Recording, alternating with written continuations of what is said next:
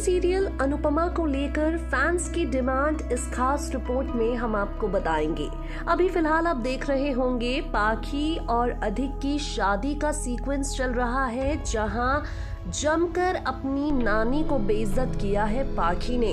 भाई पाखी को नानी को नानी कहने में शर्म आ रही थी।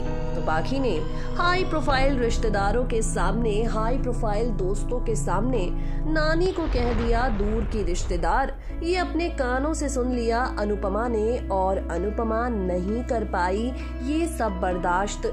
अब आगे आने वाले एपिसोड में आप देखेंगे हाई वोल्टेज ड्रामा जहाँ पर अधिक और पाखी को घर से बाहर का रास्ता अनुपमा दिखा देगी और कहानी में नया ट्विस्ट यहीं से आएगा।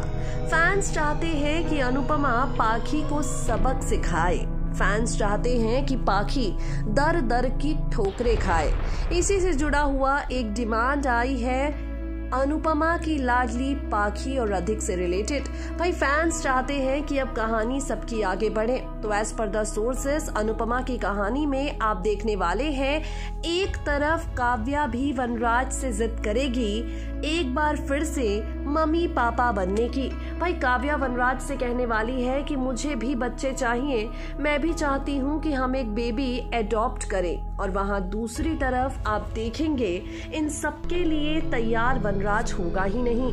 पाखी का प्रेगनेंसी ड्रामा और काफ़ी ज़्यादा गरीबी में अपनी ज़िंदगी गुजारती हुई पाखी भी आपको नज़र आने वाली है।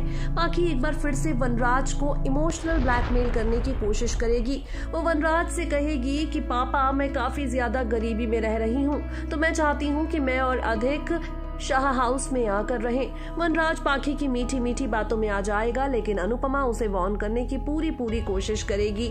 टीवी सीरियल अनुपमा की कहानी में यही ड्रामा, दो साल के लीप से जुड़ा हुआ यही तड़का है, जो आप सब लगते हुए देखने वाले हैं।